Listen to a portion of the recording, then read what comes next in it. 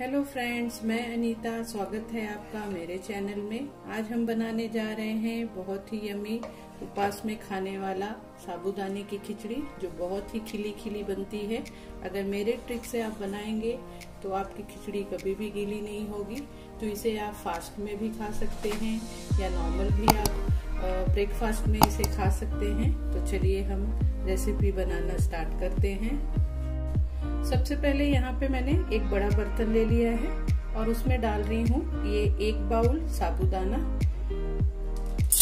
जितना आपको साबुदाने की खिचड़ी बनाना हो, उस हिसाब से आप ले सकते हैं। इसे हम दो पानी अच्छे से धो लेंगे। साबुदाने को मैंने अच्छे से दो पानी धो लिया है कि साबुदाने में का जो स्टार्च हो, निकल जाए। अब उसमें मैं डाल रही हूँ पानी। पानी हमें इतना डालना है कि साबुदाना जहाँ है, उसी लेवल से थोड़ा सा ऊपर आना चाहिए, आप देख सकते हैं। अब इतना पानी डाल के इसे हम छह से सात घंटे के लिए भीगने के लिए रख देंगे, या ओवरनाइट भी रख सकते हैं। तो अब इसे हम भीगने देते हैं। देखिए ओवरनाइट साबुदाने को भिगा देने के बाद ये अच्छी तरह से फूल गए हैं। बहुत ही खिले खिले हो गए हैं। ऐसे अगर हम इसे मसल के देखें तो पूरी तरह से ये मैश हो जा रहा है तो मतलब साबुदाना बहुत अच्छी तरह से फूक गया है और एकदम देखिए भर भर जैसा भी हो गया है एक एक साबुदाना अलग हो चुका है। तो चलिए अब हम साबुदाने की खिचड़ी बना लेते हैं। साबुदाने की खिचड़ी बनाने के लिए सबसे पहले यहाँ पे एक मैंने मिक्सी जार ले लिया है। उसमें हम डालेंगे एक मैंने बाउल, ये ड्राई रोज सेंगदाना है। मूंगफली, इसे मैंने ड्राई रोस्ट करके रख दिया था। इसे ले रही हूँ। ये छिलके के साथ हमें लेना है। और ये भी आप, आपके टेस्ट के अकॉर्डिंग कम ज़्यादा कर सकते हैं, जितना आपको पसंद हो। तो ये डाल रही हूँ मैं। उसी के साथ डाल रही हूँ ये छह सात हरी मिर्च। ये भी आप, आपके टेस्ट के अकॉर्डिंग कम ज़्यादा कर सकते हैं। इसे डाल रही हूँ। फिर एक चम्मच जीरा। इसे डाल के हम इसे ग्राइंड कर लेंगे थोड़ा सा दरदरा ही पीस के लेंगे। देखिए, इसे मैंने पीस लिया है। ऐसे ही इसे हमें, ऐसे दरदरा पीस लेना है। उसमें मिर्ची, जीरा सब अच्छे से पिसा गया है।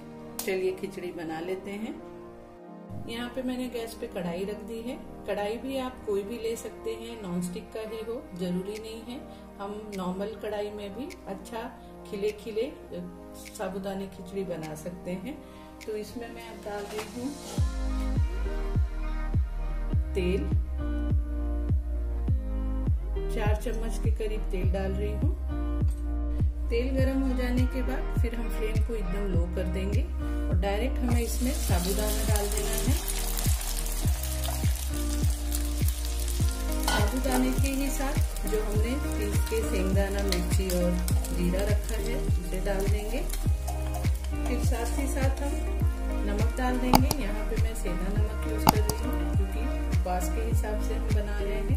तो सेंधा नमक डाल रही हूँ। अगर आप चाहें तो नॉर्मल डे में खाने के लिए आप नॉर्मल नमक भी डाल सकते हैं। इसे डाल के अच्छे से मिक्स कर लेंगे। बहुत ही जल्दी और बहुत ही टेस्टी ये साबुदाने की खिचड़ी बन जाती है। आप देख सकते हैं, बहुत ही खिला खिला बन रहा है। सभी चीज़ों को अच्छे से मिक्स कर लेने के बाद अब इसे हम ढक के लो टू मीडियम फ्लेम पे ही इसे हम दो से तीन मिनट कुक करेंगे। दो से तीन मिनट के बाद देखिए हमारे साबुदाने की खिचड़ी रेडी हो गई है। अच्छे से साबुदाना भी कुक हो चुका है। इसे एक बार थोड़ा सा फिर से चारों तरफ़ से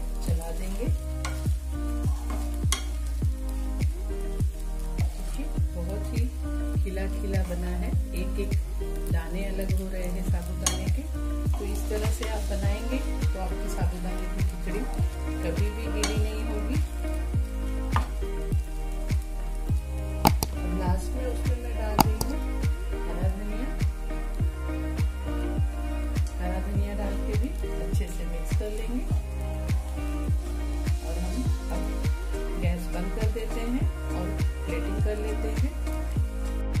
रेडी है हमारा साबुदाने की खिचड़ी।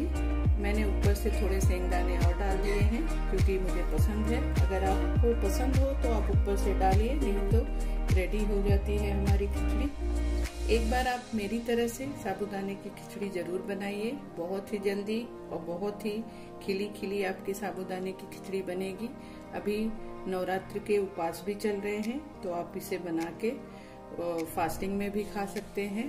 तो प्लीज़ आप ज़रूर ट्राई करना और मुझे ज़रूर बताना कि आपको ये रेसिपी कैसी लगी। थैंक यू अगर आपको मेरी ये रेसिपी पसंद आई हो तो प्लीज़ मेरे वीडियो को लाइक, शेयर ज़रूर करना और मेरे चैनल को भी सब्सक्राइब करना ना भूलना। साथ ही साथ बेल का भी बटन ज़रूर दबा देना, जिससे मेरी लेटेस्ट आने वाले सभी वीडियो की नोटिफिकेशन आपको मिल सके। Thank you for watching my video